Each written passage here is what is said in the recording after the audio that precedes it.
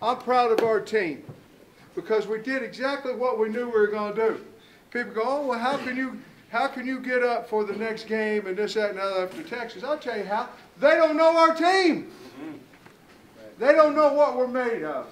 They don't know who's in this deal. They appreciate you. They don't know you like we all know each other, right? That's why you can do that. You know why you do it? Because you work for it. You work for it on Monday, Tuesday, Wednesday, Thursday, and that's what happened. I'm so proud of the football team. We got a game next week? Got to start SEC play, right? We'll talk about it on Monday. But if you're injured, let's get, let's get healthy. We are the game of the nation on CBS next Saturday. Okay? You turn that thing on in California, you turn it on in New York City, you're gonna see the Razorbacks. Mm-hmm. Okay? We will prepare and we'll get ready. It's the start of SEC, right? That's a hell of a three-game run right there, fellas. Hell of a job, coaches. Love everybody in here. I appreciate you.